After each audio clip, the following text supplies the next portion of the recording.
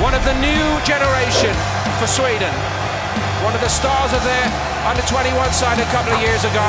He's a left back, out and out. He doesn't get forward very often. Maybe he should more often.